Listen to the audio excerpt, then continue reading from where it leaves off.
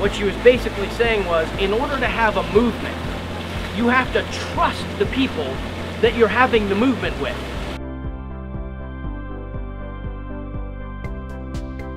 He knows Hillary Clinton knows the issues, and the opponent knows nothing. Great. I love what he had to say, and um, I love that he supports Hillary.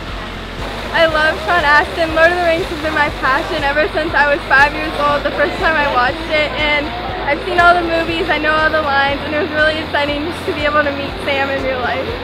Both in those stories had lots of chances of coming back, only they didn't. They kept going because they were holding on to something, you know, even the, even uh, the darkness must pass and a new day will come, and that whole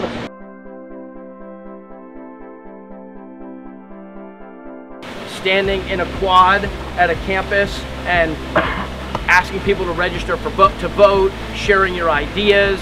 You know, it's it's it's a that one-to-one -one communication is the stuff of democracy.